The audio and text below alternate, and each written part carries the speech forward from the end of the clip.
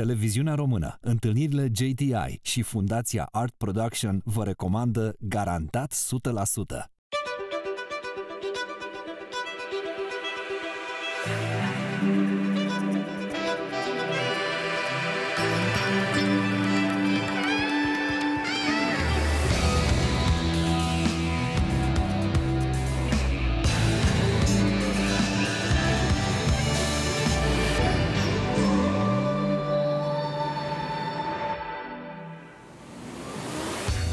Salutare! Bine v-am regăsit la Garantat 100%. Invitatul nostru din seara asta este profesor de istorie și studii clasice la Cornell University și la Hoover Institution. E unul dintre cei mai mari experți din lume în istorie militară antică. A scris și a editat numeroase cărți, dar și articole care au apărut în cele mai prestigioase publicații americane. Două dintre cărțile sale cele mai cunoscute și apreciate au fost traduse și în limba română la editura Humanitas. Războiul Troiei, o nouă istorie, și Războiul lui Spartacus. Două cărți absolut excepționale care vă propun o lectură pasionantă. Doamnelor și domnilor, suntem onorați să-i spunem bun găsit la Garantat 100% domnului profesor Barry Strauss. Professor Strauss, good evening. Thank you so much for accepting this invitation. Oh, uh, you're welcome. It's a pleasure to be here. My first question would be do we have, do we as human beings, do we have a permanent need of new perspectives on history? Is this present in each generation or does it have a cyclical recurrence? Well, that's a great question. I think we certainly do have a need to reinterpret history in every generation. Uh, the past speaks to us in different ways. I know just, just teaching my students who are a bit younger than me, of course, they look at the past in different ways and they ask different questions about it. And I myself ask different questions about the past that I would have uh, 30 or, or 40 years ago. Uh, you ask if it's cyclical, and I, I suppose it is. I do think that history is cyclical. It, it does uh, it does go in recurrences, and you can certainly see changes between periods of war and peace, prosperity and and poverty. Um, demographic changes also make us uh, change the way we look at mm-hmm. history. Mm-hmm. so, yes. When we talk about narratives, uh, mm-hmm. storytelling, and each boundary that we can find in between fiction and reality, where is the contemporary way of understanding history? Where do you place it? Yeah, that's a great question.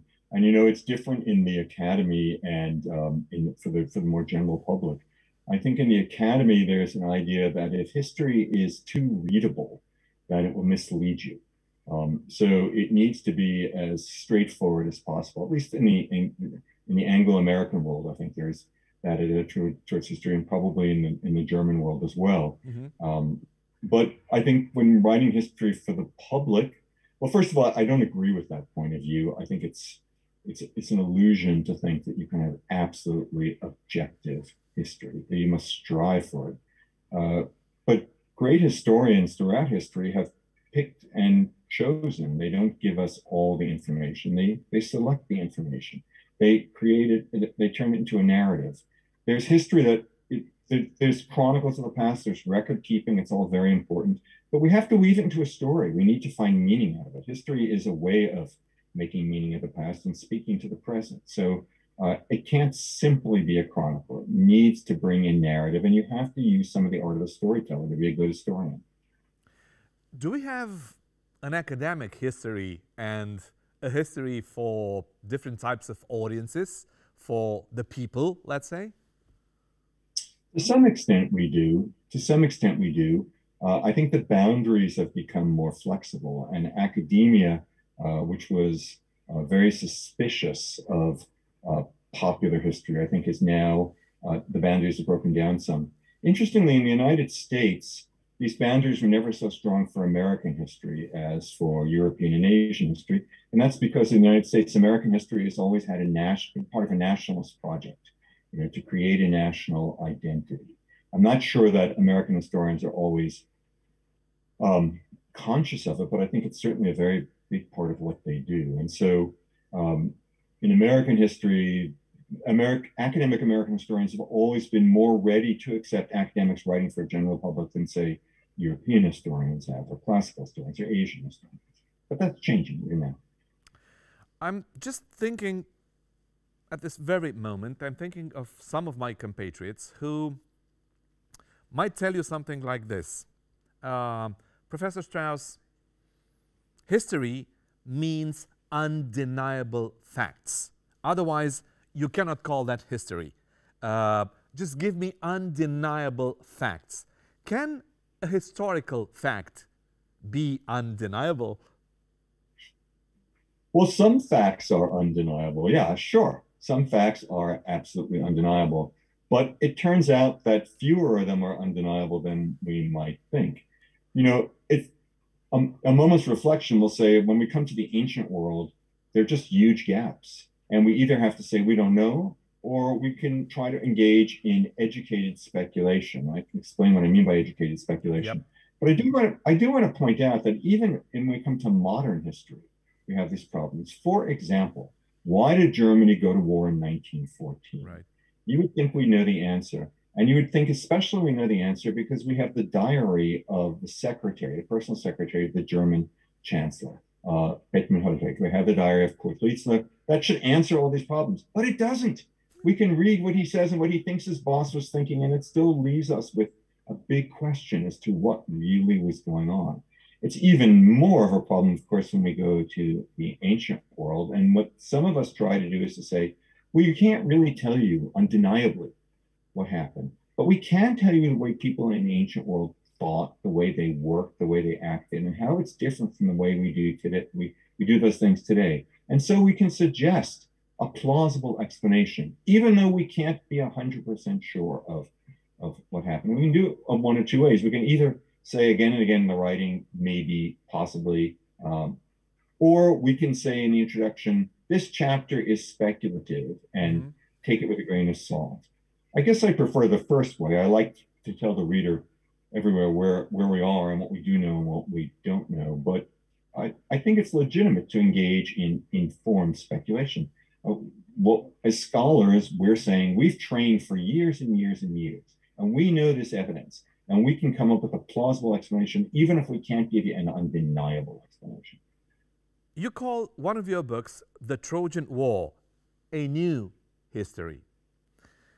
How can a scholar build, produce, uh, create, reveal a new history of an event from a very, very distant moment in time?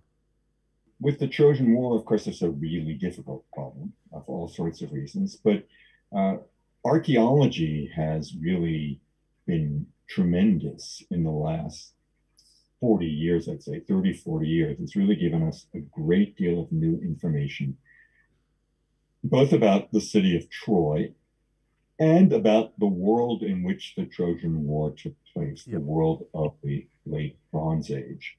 Homer does not really tell us about the Bronze Age. He tells us about a later period of Greek history uh, that was less heroic, less grand, where everything was on a smaller scale. I really think this fit the mood of the world after the Second World War.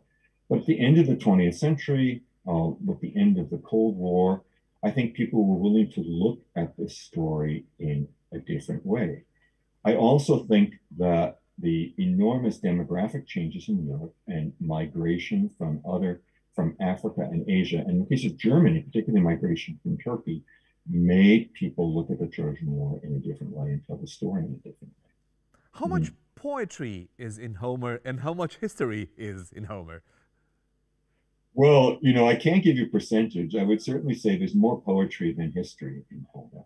And if you had to choose, if I said a student can read poet, Homer as poetry or history, but not both, I would say read it as poetry. It is magnificent poetry that really stirs the human spirit.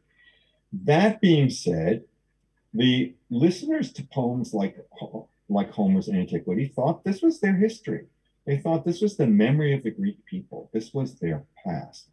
And so they, it wasn't just any old story that he was making it up, but he was telling the traditional mm-hmm. story that had been passed down for generations. And when scholars look at Homer, um, they find all sorts of amazing things there that don't fit his age. For instance, the names of the characters in Homer are like the names that we find in tablets that come from the late Bronze Age. Uh, but they're not like the names of the Greeks in the early period of the city state. There are places in Homer that uh, existed in the Bronze Age but don't exist in the city state. And of course, there are customs, there are ways of fighting, there's uh, arms and armor that exist in the earlier period, but but not in the city states. Is Homer the person, the character that we know? I mean, is he the blind poet, the archetype, the that idea that we know, or is he who we know he was? I think Homer is part of a guild, a tradition of bards, of oral poets going back many centuries. He is at the end of this period uh, when the poems can be written down and the, the existence of writing changes things quite a bit, but he's drawing on this tradition, these stories that go back so many, many centuries. So um, a blind poet, well, I don't know that he was blind, that's a nice story, but certainly a poet who is composing in a way that's that's very foreign to us today, but that scholars have have found others other examples of mm. in the world is the world of oral composition and oral poetry, and it's very different than the world of writing. Professor Strauss, an archaeologist gives you a metal or a stone seal. You get that seal and you tell a world just from a single object. You recreate a world, a universe, just from a single object. How is this possible? Because, I mean, the skeptics could tell mm. you how can you do that? How can you see through that object a whole world? What would you answer? I would say, you know, if you don't have any background in it, you can't and you'll make a mistake. But if you have studied the culture that it comes from intensively and try to learn as much as possible about it, then I think you really can say uh, a great deal about that world from the seal. I mean, imagine if you found a dime, uh, you know, or, or euro in the future, uh, 2,000, 2,500 years from now. Yep. And um, suppose you found euros from different countries and you notice, gee, the coins are different. They have different images on them from different countries. What does this mean? What's it all about? If you knew nothing about Europe, you probably wouldn't know. But if you knew a lot about the EU and European societies, I think you could recreate a world from, from, from a euro. I think I think it would be possible. Yeah. So I tried to do something similar. Helen of Troy, Menelaus, yeah. Agamemnon, yes. Achilles, uh, Patroclus, Hector, Odysseus, Andromache. Who were these guys? I mean, were they real? Well, short answer is we don't know. Uh, long answer is the ancients thought so, and they weren't stupid. Uh, they thought they were real. Um, and um, society, oral cultures can re- remember names. Names are one of the easiest things for them to remember. So, also, these names are by and large not names that they used late in the later period. They reflect an earlier society. Uh, and in a place like Sparta, Helen and Menelaus are are worshipped as as founders, as heroes of the past. Um, there's enough tradition in that place that they could actually have existed. That being said, the image of them that we get in the poems is, of course, it's very creative and fictional. We have to be very cautious about uh, believing anything that Homer tells us. But we do know that uh, in the late Bronze Age, international politics was personal. And dynastic marriages, dynastic rivalries was what international politics was all about. So when Homer says there was a time when uh, Greeks and Trojans went to war over a, a, a dynastic quarrel, uh, over the seduction of a queen, yeah, it's possible. It's possible. It fits the mindset of this society.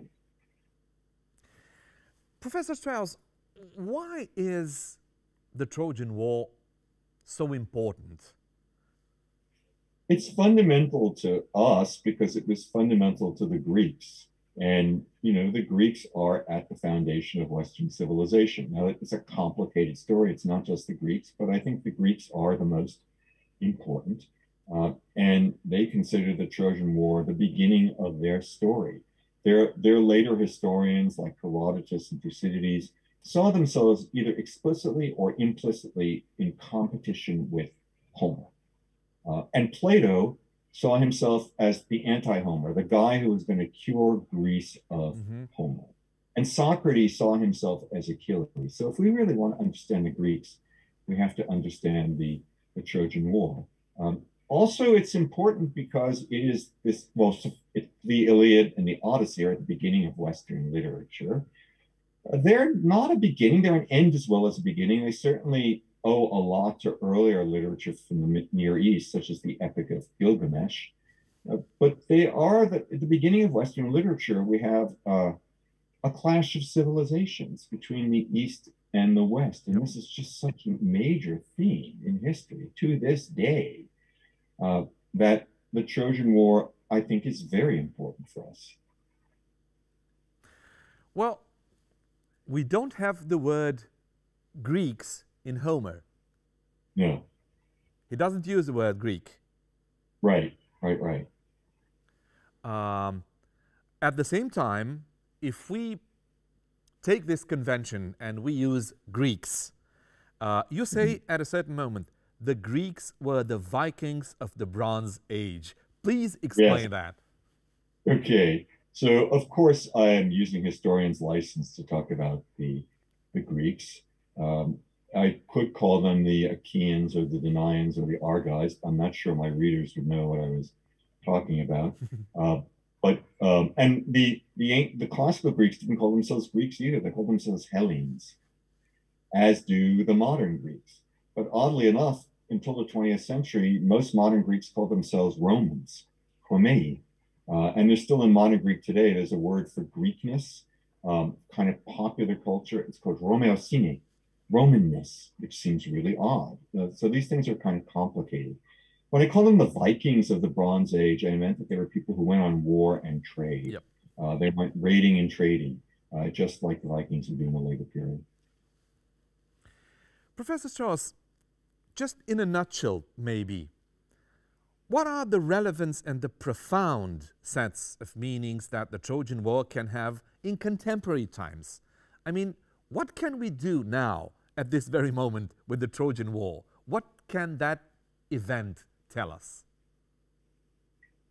Well, it can tell us a number of things. Of course, it can tell us that people remember the past and need to remember the past. When we think of all the vicissitudes and all the things that got in the way of the Greeks remembering this war, it's remarkable that they that they did remember it, um, and it was so important to their identity. But I think we have to approach the war through Homer. And I think that Homer is one of the most profound and moving things ever written about war and about death. The Trojan War is one of the great examples in history of the limits of heroism and the limits of conventional warfare. One of the, the, the, great irony of the Trojan War is that it's not won by Achilles and it's not won by any of the battles in the Iliad. The Iliad is about a few months in the ninth year mm-hmm. of the war. And they're not decisive at all. In the end, the Trojan War is uh, won by a trick, by the Trojan horse.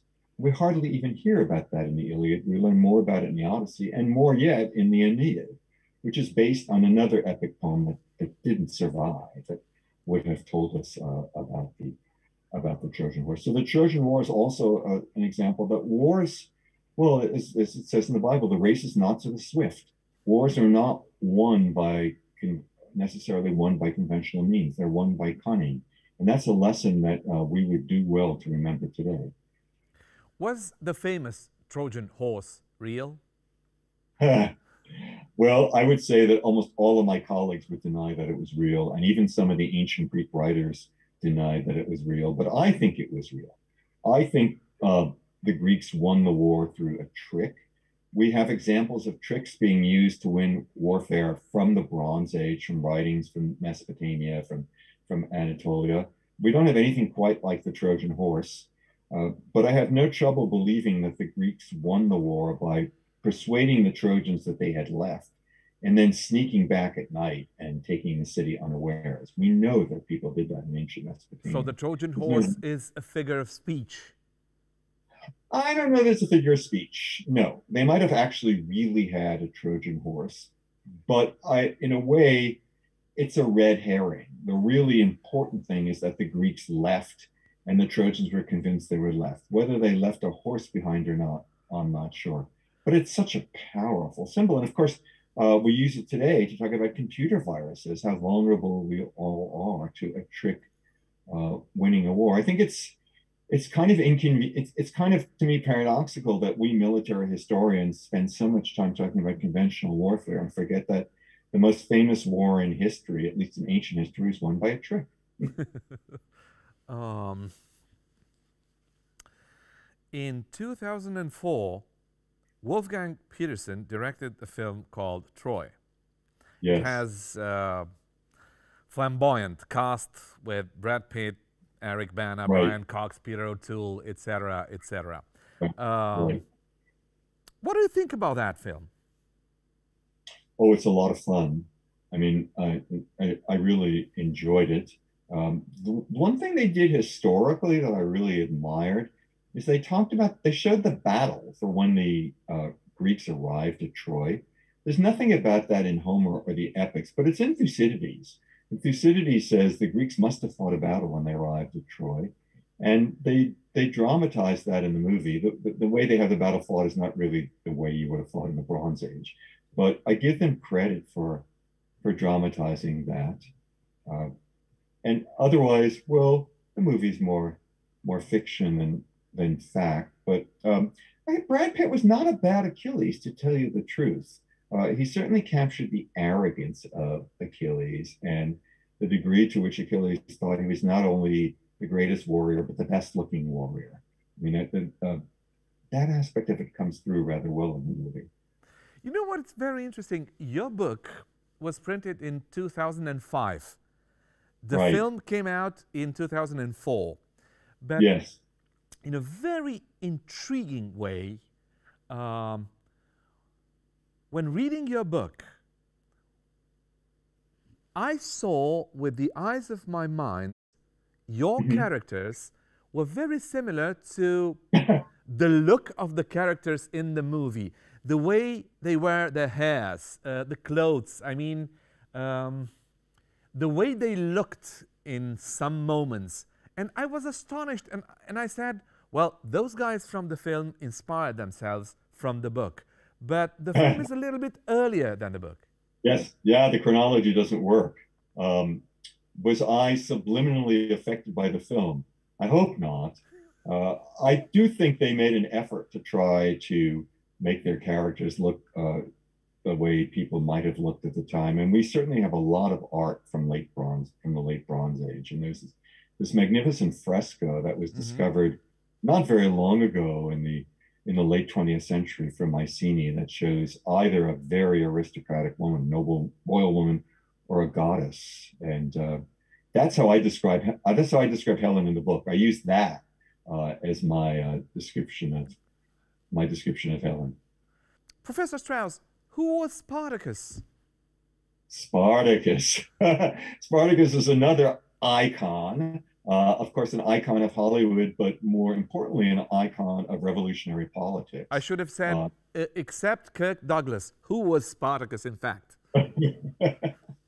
Spartacus was a rebel against Rome. He's just one in the very long line of rebels against Rome. He was a Thracian, so he came from what is nowadays could be Bulgaria, it could be northeastern Greece, it could be European Turkey. Uh, and uh, he was an ally, fighting in an allied unit in the Roman army. Uh, and he ended up as a slave either because he defected and fought against the Romans or uh, because he was captured by an enemy when fighting on behalf of the Romans. And although he expected the Romans to buy his freedom, instead they bought him as a slave and and uh, cruelly sent him off to Italy and then uh, sold him to be a gladiator. Uh, and he leads this rebellion as as a gladiator against against the against the Romans. And it's the most famous slave rebellion in antiquity. It's not a success in the end, uh, but it scares the Romans to death and uh, has a big impact on their consciousness. Will you give me um, a little shine of hope in telling me that when you say that Spartacus um, could have been from Bulgaria, northern Greece, can you tell them that, that, is it possible that we can dig a little bit more and say could have been a part of actual Romania, Bulgaria, or something like that? C can you give me this hope? I will give you that hope. Thank you. you the borders of Thrace were sufficiently parsed. And as I said it before, I thought, how um, uh, impolite of me not to say, not to add Romania to the list. okay. Um, let's talk a little bit about the multiple understandings of the word hero. When you say hero yeah. in terms of history, what do you understand? So for the Greeks, a hero was a religious figure. He was the founder of a, a city, and uh, he was semi he was semi divine. Uh, for us nowadays, you know, a hero is someone who has great courage and who takes a position on behalf of of a larger group and is willing to risk his himself and perhaps his life for for a cause. And it could be a it could be a female as well. It could be a heroine. Uh, it's not necessarily uh, a man, but mm-hmm. but courage is is a great thing. I think we underestimate it in our society. If we think of um, since we've been talking about films, if we talk yeah. about Spartacus, the movie, that mm-hmm. movie is, if I'm correct, uh, 1960. Yeah. Um, it's directed by Stanley Kubrick. And did you try to get out of the impact of the film when you think of your audience? Yes. I mean, I, I certainly did. I mean, uh, I love the film, I admire it, but it's an artifact of the Cold War and McCarthy era uh, America and the response to the McCarthy era of course, it's based on a, a novel, a terrific novel written by yep. um, Howard Fast when he was put in jail briefly for not naming names uh, before Congress. Uh, so the film, I think, reflects that. Uh, and, and I could go on and on about the, wonderful things about the film, but it's not the story of the real Spartacus. The story of the real Spartacus is different, but also, I think, no, no less a wonderful story. And I wanted in the book to try to tell the story of the real Spartacus. So you have to be mindful of the many layers of culture of Spartacus. Comparing the story of Spartacus with the Trojan War, do mm-hmm. we know more about Spartacus hmm. than we know about the Trojan War? That's a great question. I mean, I must have been a masochist to study these two subjects because they're both subjects about which we know relatively little. Yep. I suppose we may know a little bit more about Spartacus than the Trojan War. We, the historical evidence is very poor for Spartacus, but it, it is by bona fide historians who lived at the time or at least had sources written at the time. The archaeological evidence is very weak. We have infinitely better archaeological evidence for, for the Trojan War than we do for than we do for Spartacus. Do we find any relevance, any trace of truth in two famous syntagms. The first is history repeating, and the second one is learning from history. Yes, well, uh, I do think history repeats. I think it is cyclical. Um, you know, I'm old enough to sometimes be shocked by some of the things that my students and my own children have said, and I thought, how could you not know this? and I realized they weren't around in the 1970s and 1980s, so they didn't see it. But I see some of the same ideas and problems coming back, and I realize people are going to have to learn hard lessons again because uh, because they didn't see them the first time. I think history history does repeat in that sense. As far as learning from history, yes, but we have to be cautious. Uh, as uh, some of my colleagues say, history is good to think with. it gives us the tools to think with. And it asks us, it tells us, informs us about the questions to ask, but it, it doesn't give us simple uh, lessons. It's a bit more mysterious. It's a bit like the Delphic Oracle. It will tell you things, not really sure what they mean, and you have to use your wit to try to figure out what they mean. You yourself, you're talking about the Oracle.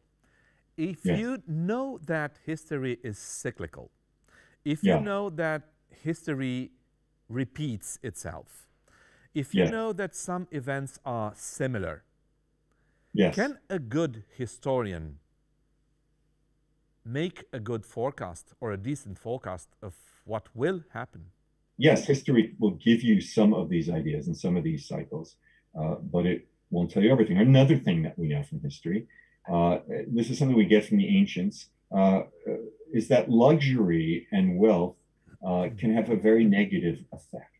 It can have a positive effect of making people prosperous and enjoying a good life, but it can have the negative effect of making people soft and letting their guard down. Uh, the ancients write about this, Herodotus does to a great extent, but many people since then have. Ibn Khaldun, uh, the great Arab thinker of the Middle Ages, writes about the cycle of civilizations. Uh, Vico, the Italian thinker of the 18th century, does, and Toynbee did in the, in the 20th century. So I'd say it was pretty predictable when you get uh, the United States and some European countries that are really wealthy and enjoying a good life pretty predictable that someone is going to challenge them militarily and that they will um, find it challenging to respond to the military challenge. So those sort of things are predictable. Yeah. If I tell you something like, the better we live, so the better conditions we have in our lives, the more possible a conflict is. How would you answer to that? Absolutely. I mean, this is what Ibn Khaldun talks about. He talks about how civilizations uh, grow wealthy and uh, prosperous and luxurious and soft. And there will always be people out there in the desert who are hard and tough and poor and hungry. And they will ride in and try to conquer the softer, more established and wealthier civilization. Uh, I think he's right. I think this is a totally predictable pattern in human history. So the challenge for the wealthier civilization is uh, to remember that it also has to defend itself and that it has to be aware of challenges coming out there. Sometimes you can meet the challenges by uh, making compromises with the new powers. The rise of new powers doesn't necessarily have to be stopped by violent means, but you you always have to have the ability to fight them with violent means if necessary, so that you don't become victims.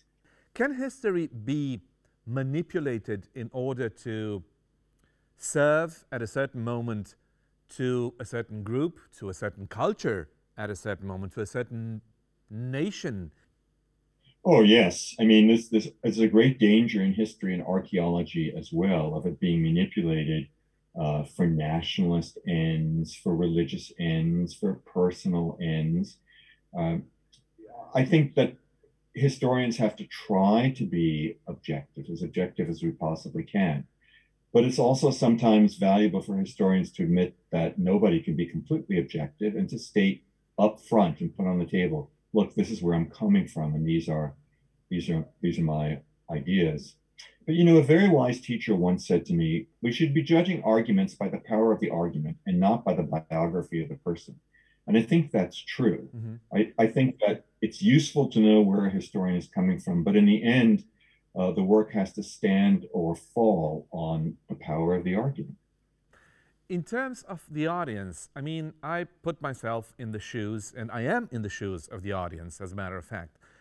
What can one do in a very simple situation if now we have different types of training in understanding what's fake news? How can we train ourselves in order to understand when it's fake history? Well, I, I, I, think I always tell people, tell students, they need to read skeptically.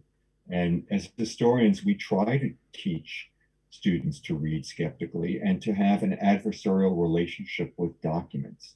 We're always in danger, especially in the world of digital technology, uh, and smartphones, we're always in danger of being taken in by information. But um, we need to treat everything skeptically. Everything's a potential Trojan horse. And uh, I don't want to sound too um, negative about history books, but we can read them with respect, but also thinking, is it real? Do I buy these arguments? Am, am I going to accept them? And then there is something to be said, going back to an earlier point, the, the academic point of view, which is you don't want history to be too well written, because if it's too well written, it can seduce you. Uh, just the facts. I hope that's not where we have to end up, but we do have to be uh, uh, aware of the danger of being seduced. Because in certain moments, history can be dangerous, yes, toxic, and Absolutely. can influence uh, very important events and can drive very important events in a wrong way. I mean, yes, seducing people is a very complex phenomena. Can we be protected from fake history or from fascinating history because there are people who dive in a certain type of history and they become that type of story. They're not themselves anymore. They are that type of story. No. Well, it's a really great question. I would say it, it has to be two part thing. First of all, it can't be a passive thing. It has to be an active thing. Mm. We can't simply be protected from fake history. We have to protect ourselves from fake history. We have to be activist readers uh, and skeptical readers. That being said, I do think there's such a thing as an expert. And I think that we want to uh, try to put ourselves in the hands of experts. So we read book reviews in places that we respect, written by people we respect. And we try to seek out people with credentials uh, and to read uh, to have more trust in their work than than uh, we will uh, with others. I mean, credentialed people can get it wrong, and we're there's a danger that credentialed people uh, will um, engage in a kind of groupthink of the establishment, and sometimes it is the outsider who sees the truth. But there's no easy answer. Your, your question is a great one because I think we have to be aware of this. We have to be skeptical of it and realize that history is not just an academic pursuit, but it can be used by politicians and nations at the highest level. And as you say, in the most deleterious ways. So we have to be careful of that. What's happening now in the world, Professor Strauss? What yeah. is it telling you? Um, how do you see all these stringent events through the eyes of an expert in ancient military history? what I try to do is to really get a variety of opinions. I really do. Um, I think that in the United States, there tends to be a sort of group think about how we think about things, as, as in any country. Mm. Uh, there are minority opinions. Those minority opinions, I don't know, I don't always find them so helpful. So I try to read European press as much as I can. Um, some languages I can read, some I can read in translation. They have a very different take on things, and I all take take on things. And I also try to follow experts who know more about this than I do, while at the same time remembering that there are patterns from history. There are things we can we can learn from from ancient history. I mean, I've just written a book about the the Actium War, the Battle of Actium, and the campaign around it. And the war between Antony and Cleopatra on the one hand and Octavian yep. on the other is the great examples of misinformation and fake news in history. There's so much fake news there uh, that I find going back to it is a good reminder of how much fake there is, news there is today and how careful we need to be.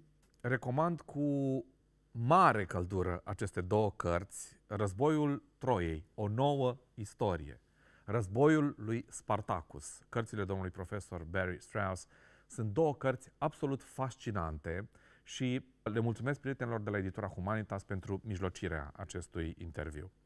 Professor Strauss, it's been a privilege to have you as a guest in our show. Thank you so much for your books. Thank you so much for the way you're doing your job, as a matter of fact. thank you. And uh, thank you for accepting this invitation. It was my pleasure. Thank you so much for having me. Thank you. Tuturor celor care sunt alături de Garantat 100%, mulțumim frumos pentru încredere. Noapte bună!